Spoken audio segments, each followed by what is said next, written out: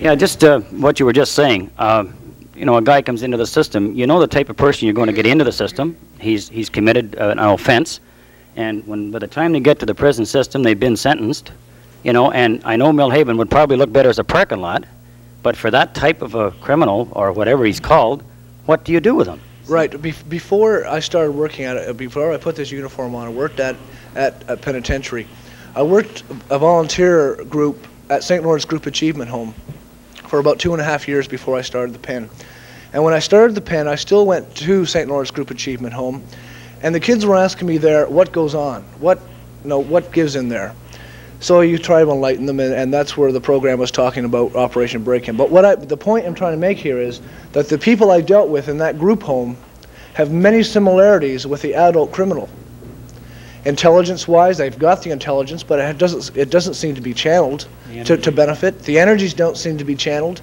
Um, where can we find common ground to talk about problems, release uh, views, uh, vitality, and uh, come to some common, like today's meeting for me, as will be tonight at Queen's University, will be, is a time that you can understand at, at least a, beginning of what I go through as a, as a correctional officer, and hopefully other correctional officers will, will be able to, to share that limelight. Other uh, inmates are able to come out and talk. The public is able to be more informed. I mean, where does the government become accountable to the taxpayers that, that cost 48, uh, roughly $48,000 a year per inmate? Well, let's just hold it there. Then, when you say that, the, the accountability of finances, and you're talking, let's build more institutions, and let's make them smaller. My God, if you're getting screams now, what are you going to get then?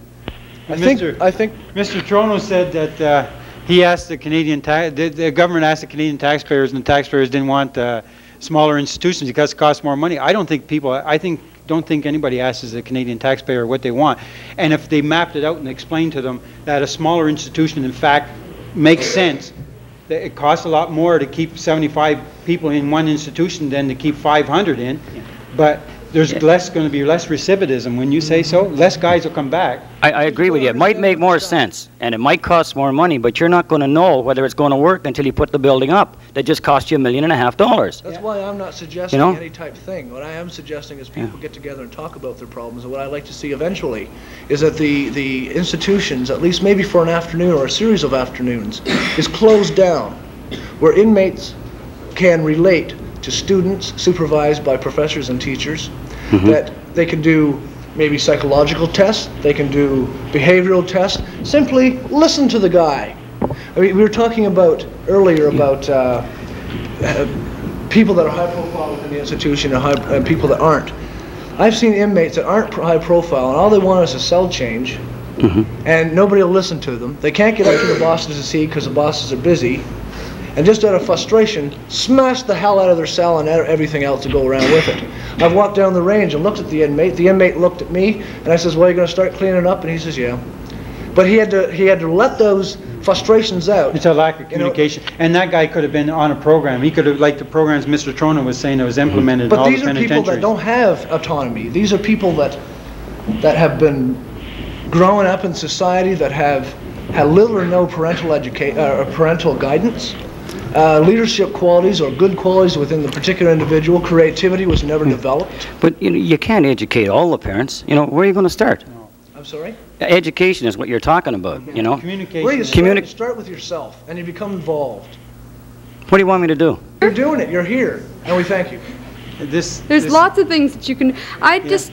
This isn't a question. I just have to say something. When you start talking about the type of person you get in prisons and that type of person, um, you're stereotyping in a dangerous way. I feel not you, but one is stereotyping.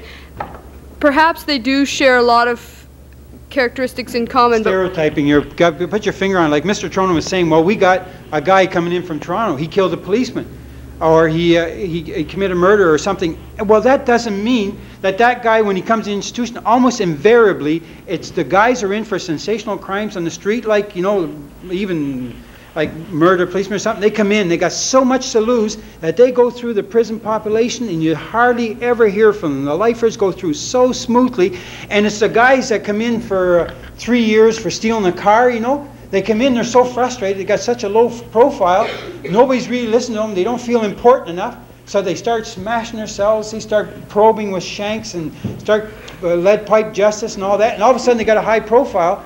And so you would never have preconceived that this guy that got picked, up in Toronto for three years for car theft and didn't even get make the newspapers because you don't make the newspaper. You say, well, actually, Millhaven is more full of volatile guys than not lifers. And not then comes the concept of college for crime, where, where a juvenile delinquent or a person 16 to 17 years old will go into the penitentiary, do a B and E, do a series of B and Es, and finally get hit fed, fed time. Uh, he's going to be affiliated with, with, with master criminals, people that have done uh, armed robberies, for example, versus the guy that's done B and E's. He's going to learn from the guy. He's going to learn how to hold a gun because he, he sounds he hears it. He, it sounds excited to him, and he wants to do it. So when he gets out, that's his most ultimate goal. As a result, we've got recidivism to the rate at 81%, I believe. And another, yes, Dennis? I was wondering you're coming. Yeah, I, I, I had to jump on that one, Barry, that I 81% recidivism. I heard you mention that once before. The last figures that I had showed that 64% of everybody coming to federal prisons is there for the first time, and 64 and 81% don't jive. There's one other thing that I just had to jump on, and, and I hope you'll bear with me. You mentioned that in the evening at Collins Bay, with 30 or 40 officers on and 400 inmates, that the guys have no educational programs and they sit in their drum. And a little later, you mentioned they've got nothing to do except play on their handball courts and play on their volleyball courts and play in the gym, which is equal to the YMCA, and get library books and get all the inside It's groups. Well. I don't know what you do in the evening. Usually, I watch TV, unless I'm still here this evening. But generally, if I want to, generally, if I want to get educated or get involved in a work program, I'll do it during the day. I'm, I'm not fortunate enough I can go to school during the day. The inmates are. So really don't undersell the programs that are going there. There's No, some very no, no, valuable I'm programs not. that are costing a taxpayer a bundle, Yes, and I really don't think that you should attempt to undercut them at all. No, I, I'm not trying to undercut them at all.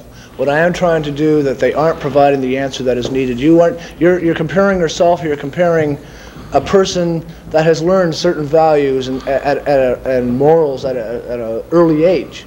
These people have not. I'm talking about opportunities for Oh, people to have. the- the- the CPS definitely suppro- They do go to school during the day. They do. Yeah. They, they're fortunate enough to be able to go to school during the day, and they don't want to do that in the evening. That means that what are they doing in the evening? Are they sitting around, having had all the schooling they want during the day, doing nothing? In the evening, we don't- uh, let- let me give you the average choice. The average choice at Collins Bay, they can watch TV if they want to. They can watch movies two or three times a week if they want to. They, they've got, I believe, 14 different social groups coming in from the outside You have every evening. eligible to be to You, go to the you, no, there's a 10 plus group which is Yeah, you totally be in for involved. 10, 10 years Okay, so, so if you happen to be a member of the Native Brotherhood, if you happen to have a religious bent, if you happen to be French, th- Have there are be alcoholic. Sure, there are groups there, You gotta go. but I, I'd consider really that the average inmate in Collins Bay, or any other institution for that matter, during the evening, he's got a hell of a lot more to do with his time than I have, really. The only he, difference he has is, too much time. the only difference is that he can't walk outside that institution and go into the hotel down the road, and therefore you could come back to the old cliche, if you can't do the time, don't do the crime, really. You've got to remember who are locked up. The people who are locked up, as a general rule, are the criminals, and the people who look after them, as a general rule, are Talk the good guys, and don't really confuse which is which. No offense, Roger, you're out now. You did your time.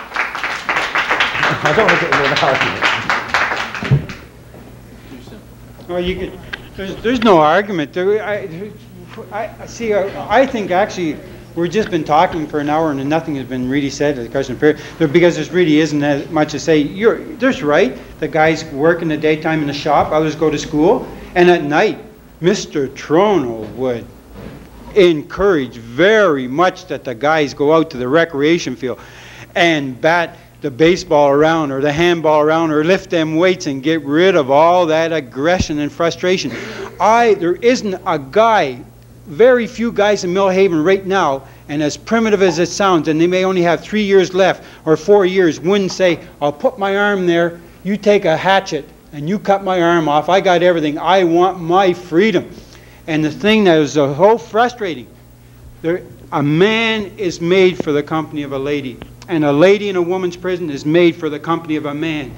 And you take that away, you can give me anything you want. The one thing you suffer the most is that female. Com- Even just seeing kids and hearing their voices and be able to open your own door and to be able to go into your own refrigerator and all that. In other words, there's a personal side So to what do the, we to do? the criminal. Do we open all the doors to No, no, no, this is saying there's no answer. I'm just saying, if the guys didn't have punching bags, didn't have baseball, it'd be the guards would be suffering themselves, they'd be battling among each other. The only thing that saved my sanity was sports, weightlifting. I worked like I was supposed to do in the shops in the daytime. I did my thing in the daytime, and and you, naturally, there's no reason now. We're in the 20th century. You don't lock the doors 18 hours a day like when I first went into prison.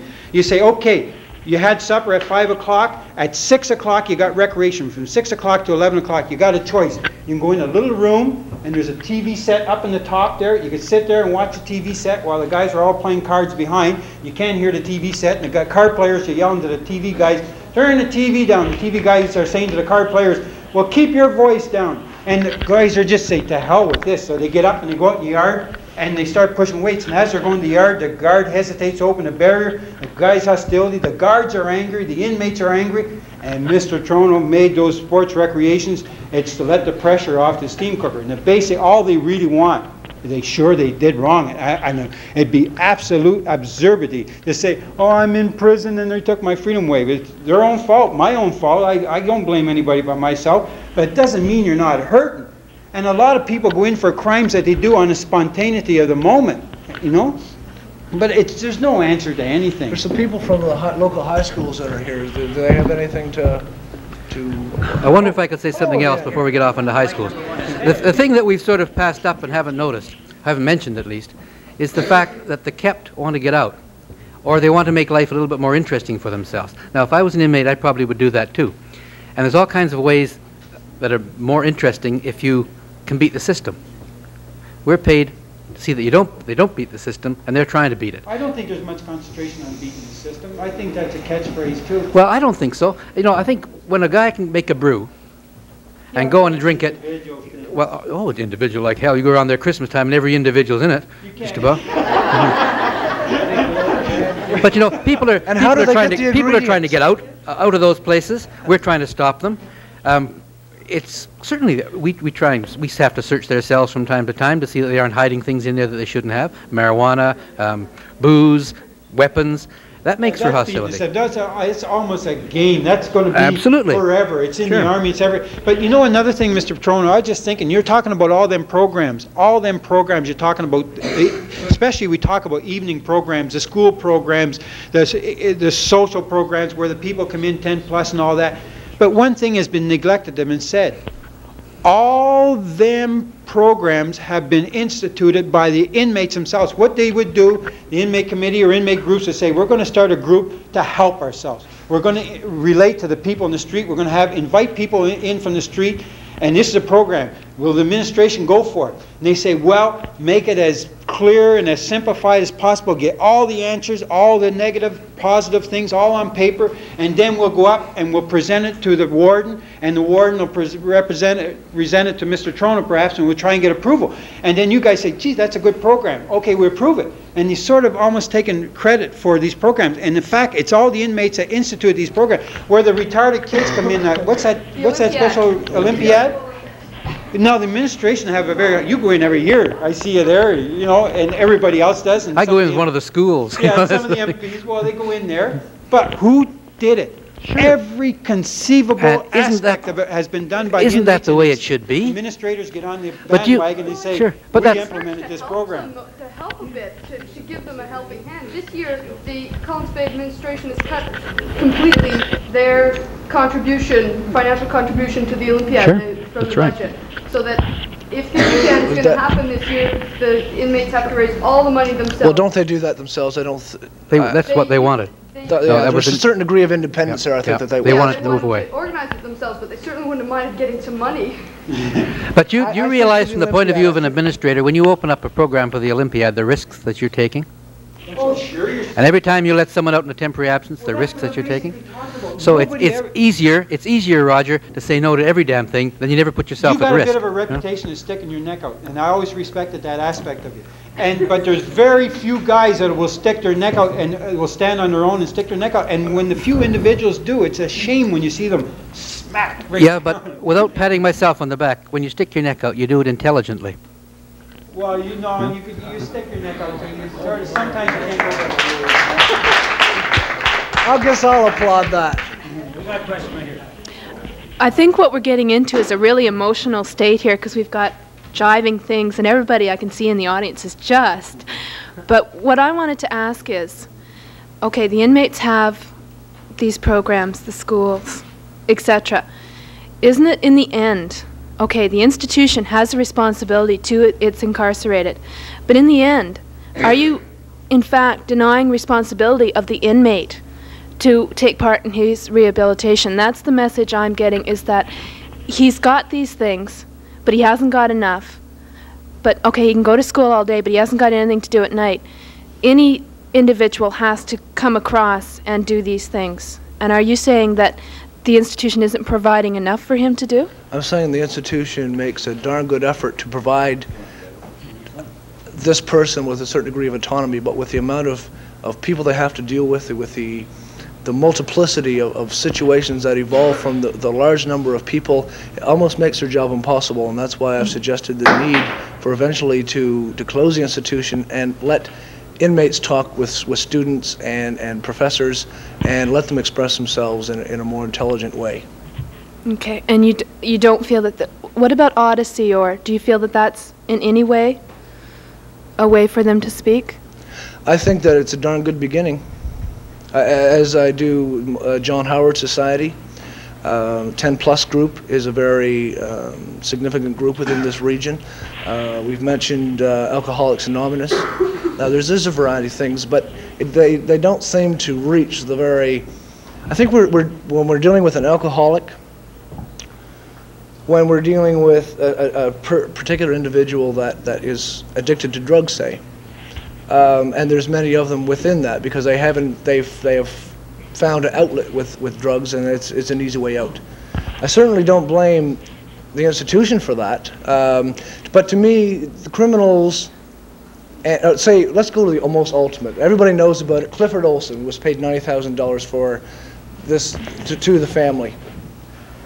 Uh, the Civil Liberties Association, Alan Borovoy, called that pr- presumptively repugnant.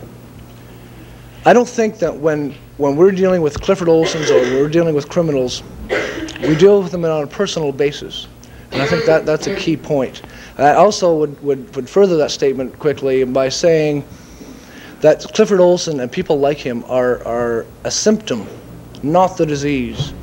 And unless you get down to the very bottom of, the, of that person, or the overall group of uh, collective individuals within the confines of a pen service or in, in, in society in general, um, perhaps you would be able to develop a certain happiness, a certain creativity within that individual that make him feel happy with So- his life, so he's a self-contributor.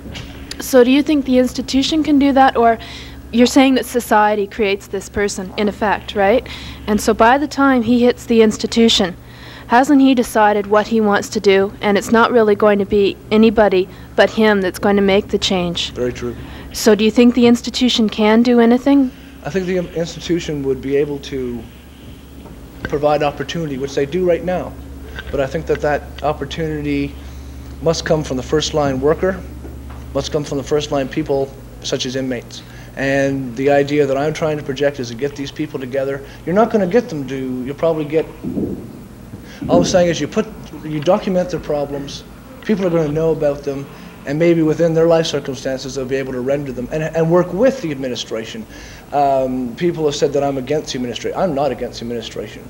I think they do it, um, at, they try their damnedest to, to get what they feel necessary for that particular individual, but I think, I'm simply saying it must be more. And it must be the wor- first line worker that, that brings that down to, to grassroots level.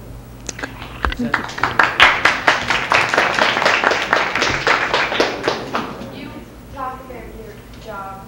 Um, you, um, you, s- you stand up, you, s- environment that you have to put up with, you talk about the things you have to do. And you get negative feedback from your colleagues and from the administration. And everything you talk about seems to, what you have to put up with seems to conflict with your own ethics. So how can you stay with the service? In other words, my, is my job a conflict of interest, perhaps to my own ideology? It's just what you do and what you speak out against. Because I, I guess, okay, I may have faced Stay in that position. anybody that stands against the norm or doesn't face their nose and the way everybody else is, is pointing their nose is bound to face some sort of repercussion. I think the the conflict of interest you might be suggesting, um, and, and you say that I faced opposition with, with guards. Yeah, sure, I, with and with inmates, I suppose to some degree, but mostly with administration. The the inmates now, when I go into the institution, comment into where I'm working. I'm isolated. Um, the inmates will would want to communicate. Uh, people in the John Howard. Basically, what I'm saying is I've worn this uniform for five years, and, and when I've done what I've done, the cons are able to look in new light about this uniform because there's a person under this uniform. and if I can project that personal side of, of an officer, I think, and, and be s- get my point across to some degree, then maybe somebody else will come across and and um, communi- communicate and, and contribute. So the idea of, of I- yes, I do face opposition, but I have some very strong support too. Andy? I uh, had an interview myself with uh, Mr. Dennison, and he was speaking about the Hague tradition. Now, I personally feel that anybody who is born is not, I mean, they're not born a hardcore criminal, and whether they're in minimum security prison or maximum. And when he was talking about the Hague tradition, I feel that maybe you don't have, maybe it is expensive to build these uh, these like these mini prisons, so there's more attention and understanding to them. But the thing is, is I feel that we all have deep emotions, even the hardcore criminal does. And he has emotions. Maybe as he maybe he has killed many people, but it's probably a result of his environment or something else. But I feel just the fact that if the guards and the inmates at least kind of talk to each other. I don't, I don't say, you know, give the guard his gun, let him clean it for anything. not that. But I am saying, if, if you don't treat somebody like a human being, sure, you have these groups. You have all kinds of groups. You have sports, and just with, just as he was hitting on, like you don't, you, they can't see a, a, a small child. It's filled in emotions and frustrations. You can give them all the recreation they want, but they are human beings unless you don't hit on that fact that they are humans. And if you're if you're looking for rehabilitation in prisons, and if if you want them to change to go out to society, at least treat them like human beings. I think Let them talk openly and communicate Yes. with staff members and administration. And, well, I, I don't, I don't agree with The fact, the fact is, if you don't want, uh, rehabilitation, if you don't believe, if you say people are con lovers, why don't you bring back capital punishment, hang them like back in the foot trunk hang? Because in a sense, is that not what many people are doing? The slow death? Yeah, it is like a slow death. Suicide, uh, you don't allow them to get out their emotions. And it is a slow death. Maybe it would be better if you maybe just brought capital punishment. But I'm saying, if, if you don't show them understanding, if the guards don't show them understanding, as human beings, well, I don't feel they do, they do have much chance on reforming themselves. And we expect them to go to society, and treat society good and that. Well, how can we expect them to do that? When we ourselves and, and guards can't treat them like human beings, they can't treat them like human beings, you know, why should they expect them to go out in society and say, you know, I think we're gonna be good? Exactly. I think capital punishment is one very easy answer. Um, it, it's it's easy to say, lock them up, throw away the key, kill them, uh, to hell with them. But it's much easier, it's much harder, and uh, much more complex to deal with individuals, not only as a group, but as individuals. There was a, a question over here, I think, wasn't there? Yeah. Better stand up and confinement. Do they still give people long terms and call it solitary confinement? Uh, Like anything over a month, these people have been known to develop isolation psychosis within a month, and I think that's appalling. You could be locked up for, in the special handling unit at Millhaven, and it's a four-year program to get out? You have to ask the man behind you, I. Is it, how long is it, the, the different stages, the minimum? It takes them three years to go through the program. The last year is in a, back in a normal population of probation. Yeah, okay, so But let's, it's two hey, let's take a look at what we got in the special handling today. Yeah, yeah, true, but if. But then again, we not only have the special handling unit these days, we've got medium, maximum, uh, SHU is super maximum, and now we're having another one, super, super maximum. Where does it end? Excuse me. I don't want to get any confrontation here. I just make to make a brief little statement. Um, I have talked to some of the people that are in the field of corrections, and I think there that there are a lot of uh, a lot of caring people. There are a lot of programs uh, that are run that are really really good. I can't speak any louder, and. Um, I think if, if we're not just a little bit cautious about um, um, the way we talk about inmates or guards or anything else, we would be remiss. I think we, we can't lose sight of some of the crimes that have been committed and some of the people that are incarcerated. And uh, we all seem to be talking about the same thing here, just general caring about people, but I don't really think that you can, you know, it has to come from both sides understanding too, and I'd just like to make that that, point, those okay? both sides have to be allowed. And right now, we, ha- we seem to have an unwritten rule that we're not allowed. Um, Excuse me, I don't understand. Who's not allowed to what? I don't, I don't quite. care for, like, uh, my particular situation, some people may have the attitude that I'm some type of con lover, and for that reason, I'm ostracized. But I'm Um, just trying to, I'm not, I don't look at them as a con, I look, just look at them as people. And I see that they're people that are hurting, and maybe, definitely, we cannot forget about the crime. That's why they're there. But while they're there, let's, uh, let's give them an environment that will provide a certain degree of autonomy, that will provide communication to heighten this man's development in life. I think we're assuming here that because the, a lot of people in the field aren't as vocal, perhaps, as others, that this isn't going on, and I think I saw a lot of that. I'd just like to make that point, that's all. Well, I, I'm sorry. I like to make the point that I did see a lot of caring by correctional workers when, you know, in the field. I don't think that, Particularly before uh, a major uprising happens, you'll, you'll see the um, numerous letters being passed for the inmate population to, to particular guards where they ask the guards to act as some type of mediator so the place won't blow. And that often happens, and yes, there is many individuals within the rank and file of the Canadian Penitentiary Service that do care. I think there's a great deal of them. I do too, but I think there should be more of it.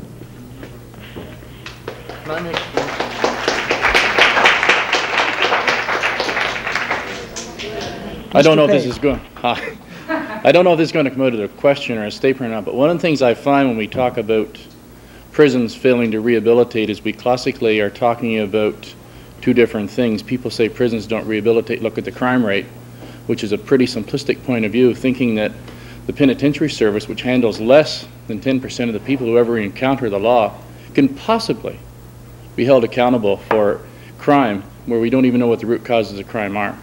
So in answer to your capital punishment, I could simply go to all the institutions and gas every inmate tonight, and the crime rate in Canada would not significantly change one iota. Okay?